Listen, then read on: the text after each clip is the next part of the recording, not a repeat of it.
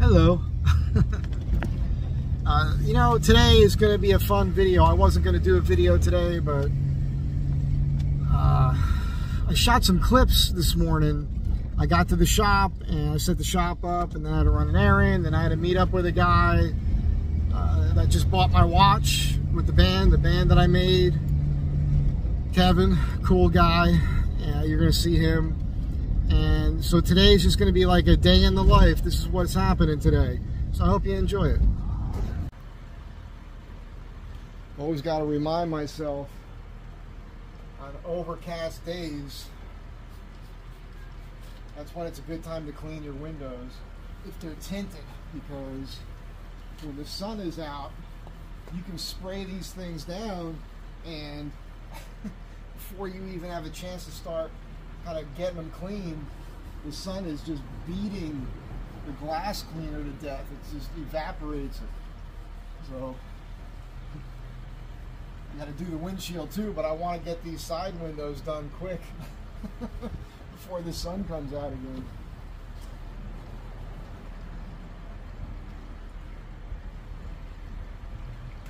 A nice day.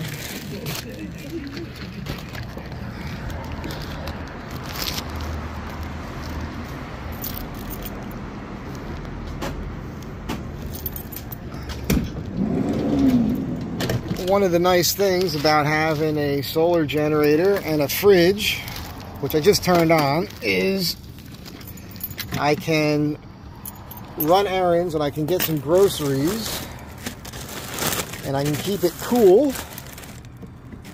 while I'm working.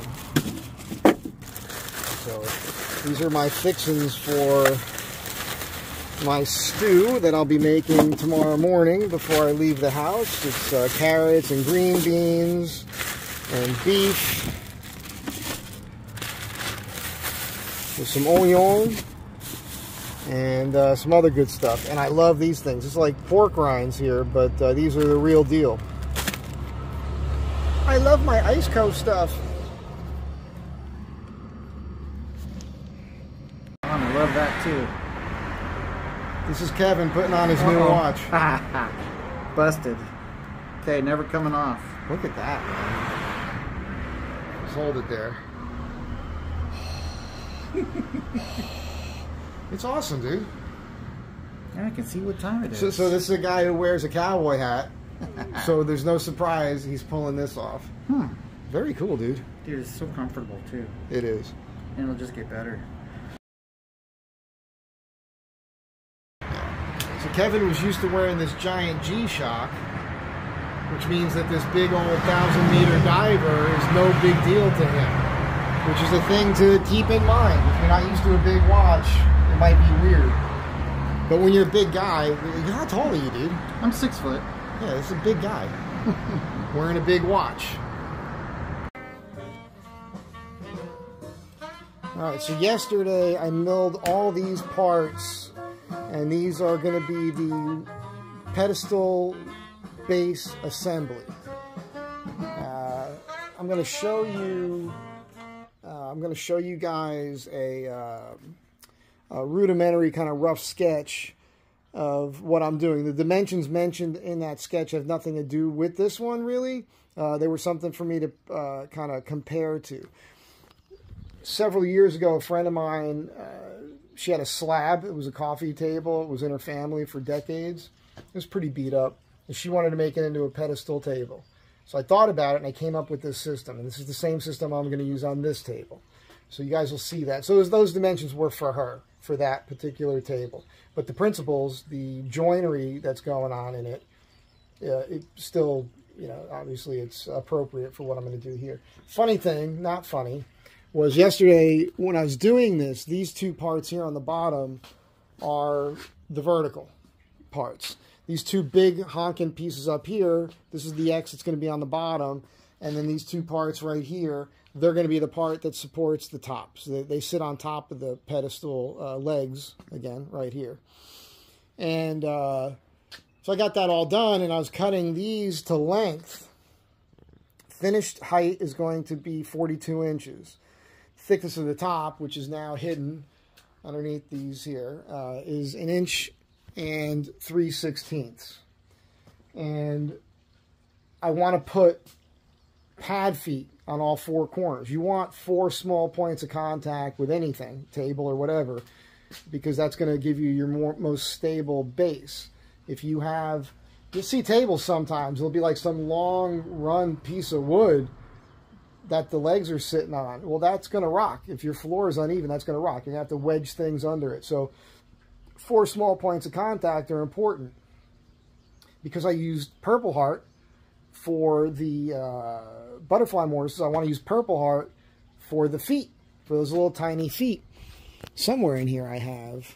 Somebody gave me a bunch of Purple Heart years ago, and I have it. But as I was cutting it up, the problem was with the, was the furniture that they had made back in the day. Somebody used these as splines to glue the Purple Heart together, so it wasn't going to work.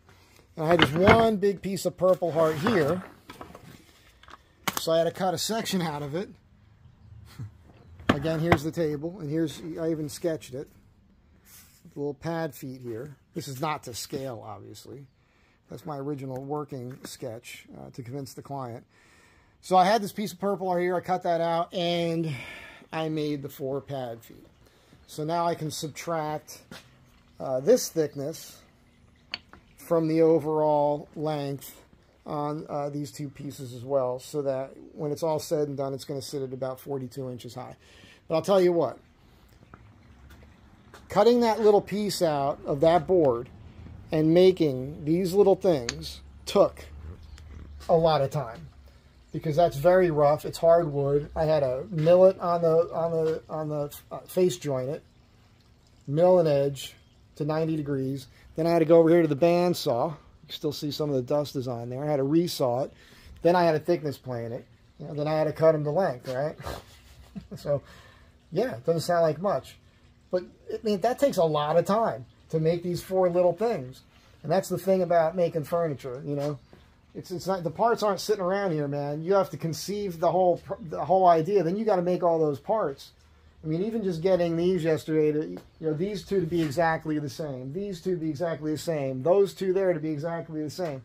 You know, takes all stinking day to do stuff like that. I'm not complaining. I'm just saying. Anyhow, this will probably be the end of this video. I don't know. We'll see.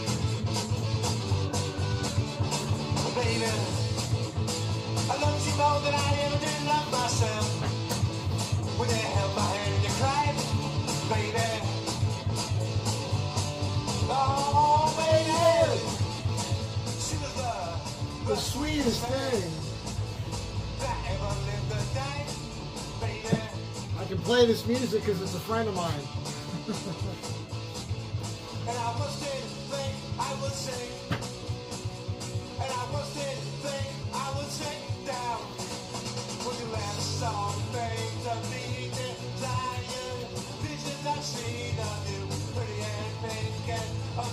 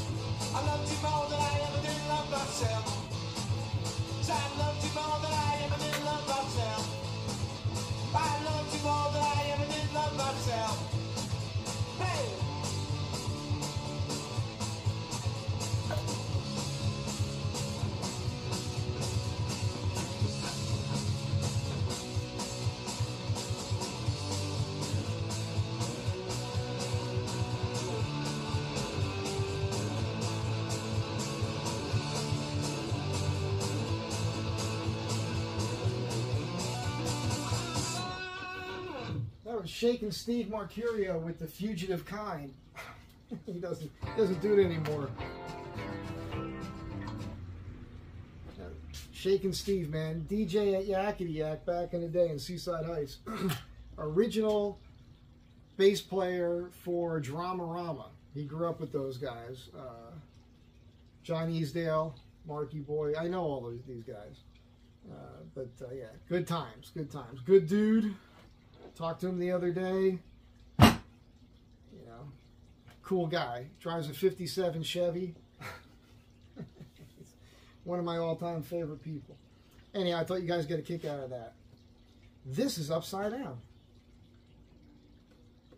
I think. I guess I'll have to figure that out. That was for your uh, listening pleasure. So I just wanted to mention, um, as I'm working my way around what I'm doing here, this guy uh, that you just saw, Kevin, he's such a nice guy, and I I uh, I told him, I said something to him, which is how I feel about I think all of you, everybody who's here uh, watching on the channel here. Um, I met several of you people at the Tecopa meet and greet and I have to say, I feel like I feel like my subscribers are some of the just nicest people, like the nicest human beings. I'm uh, I'm really pleased with that. I'm pleased with you. I have not yet met somebody who watches my channel that I feel like is a schmuck. So thank you for that. That's all I want to say. I mean, I, this guy pulled up, we started talking, and he, he's just a kind human being. He's a great guy. And this is this is like the people who are in my life, you know, that are my real friends, like people I've known that go back decades. Some of them, they're good. For the most part, they're good people.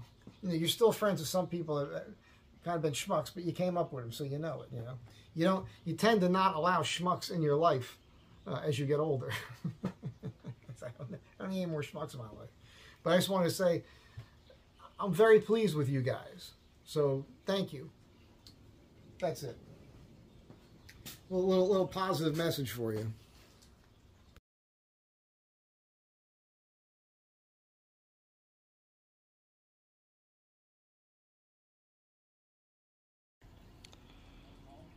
Fortunately, I have another bit. This thing, uh, you just saw a snapshot. I got one side channeled out. Uh, but man, I'll tell you what, I can smell. I can smell the brushes in this thing. So hopefully I'll get that pass done. And uh, I, I need a new, I could probably use a new router. I need like a three horsepower, three and a half horsepower router, which I, I never really used before. I mean, I've used them before, I just didn't own one. But I got to get one of those things. Uh, anyhow, I'll get through this. This is the end of this video. It's not a how-to or anything else. Just a day in the life of an artiste. Mm, an artiste in Los Angeles. Hope you guys enjoyed it. Be good to one another. I'll catch you all in the next one.